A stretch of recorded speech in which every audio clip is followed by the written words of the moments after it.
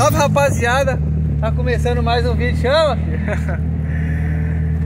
Mano, agora vamos andar no carro um pouco pra ver como que é, né rapaziada? Mano, é um carro confortável, mano. É, é o que eu falo, é o limite de você conseguir projetar e trazer o mínimo do carro de rua e de pista. A gente tá dentro da cidade. Você pode ver que a cidade tem bastante buraco, lombada, como ele falou. Aí você tem que estudar a relação de câmbio, tamanho de turbina que você vai usar, tamanho de bico, conta muito, comando, tudo tem que ser projetado certinho. Se você inventar de colocar uma peça errada que não vai casar com a sua vontade, com o seu objetivo, mano, vai ficar zoado. Aqui a gente tá a terceira 20 por hora, o carro Você tá pode ali. ver aqui, ó, dentro do carro aqui, irmão, é original. Não tem aquela alavanca mutante, é mutante os caras usam, aquela alavanca grandona também que os caras usam na pista. Sim, tá é, que a origi- ele original. manteve o máximo de original possível. O trampulador é original também. Sim. E é isso, cara. O objetivo do carro sempre foi esse. Um carro que eu conseguisse andar na rua confortável, mas na hora que acelerasse tivesse carga. Sim. Dá pra ver que o carro é forte, tem um potencial. A embreagem não pode ser tão forte para você não perder o conforto. É, o câmbio, o câmbio nosso é um pouco mais longo primeira por conta da, da pista. Então você tem que dar um pouquinho mais de giro para subir. Aí que vem a questão de tipo pensar no projeto. Se fosse um carro só de pista, eu podia meter uma primeira muito longa. Sim. Não dá nada, o carro é pra pista, vai sempre carregar em Mas como você falou, né? alta carga. Agora pra rua você tem que tipo ter torque de baixa pra conseguir sair devagar com o carro, senão ele fica dando É, cabeçada. eu tô, pelo que eu tô vendo no carro aqui também, rapaziada. Tá lenta, normal. De quinta dá pra você viajar de boa aqui, de quintinha, fechou Tá? os vidros E e de acabou. quinta o som do câmbio some, zera.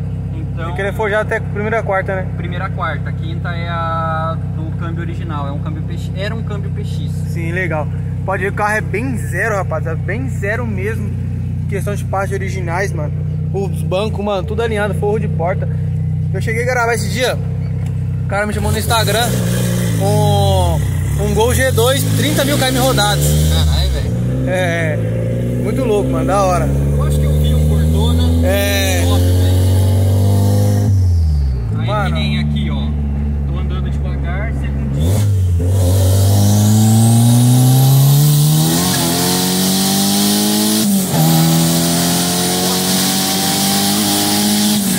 Doido. Mano, vem que vem, hein? Cê é doido?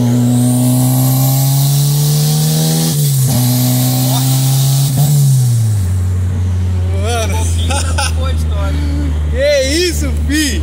E o que eu falei, a turbina é pequena porque o carro é de uso de rua. Mano, top demais, que Então, isso? Eu tô aqui de quinta, 70 por hora.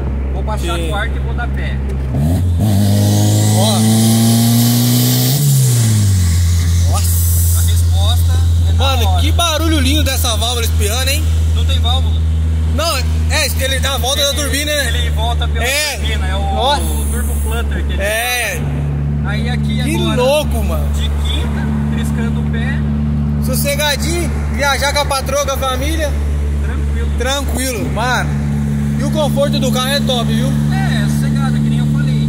Na hora que você pega os bancos da pista, você percebe que a traseira ela é mais, mais rígida Sim. que o normal. Mas é o, o que incomoda mesmo em carro rebaixado, carro turbo de rua, é a questão da cidade, velho. Você vai É. pegar valeta, você vai pegar buraco, o carro vai pegar no chão, vai trepidar, mas na pista é aceitável.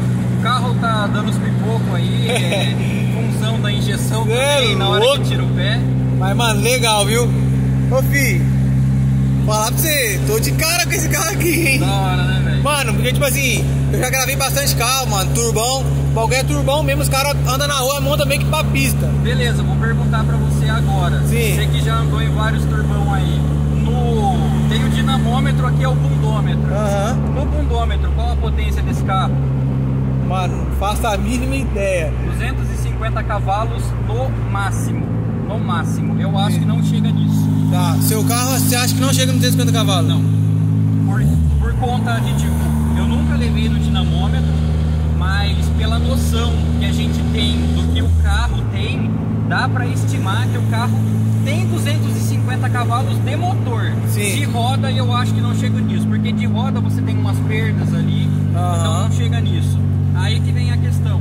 Se eu trombar um carro de 350 cavalos na rua, que usa uma turbina gigante, é capaz que eu dê couro.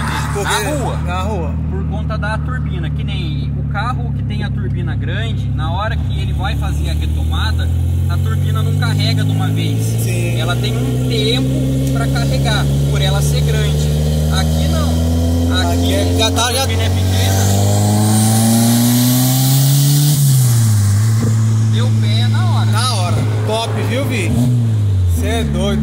Ô, e o barulho desse câmbio é sensacional, né, mano? É, de quinta você pode ver que some.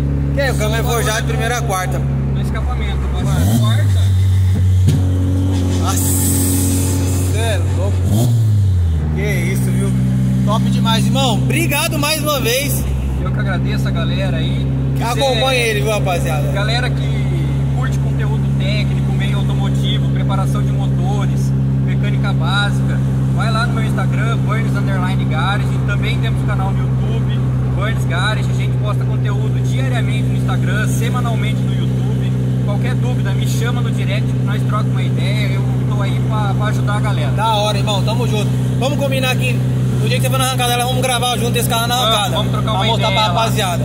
Fechou? Fechou. Tamo junto, rapaziada. Mano, um pouco aí sobre o golzão dele na rua também pra vocês. Tamo junto, irmão. Falou.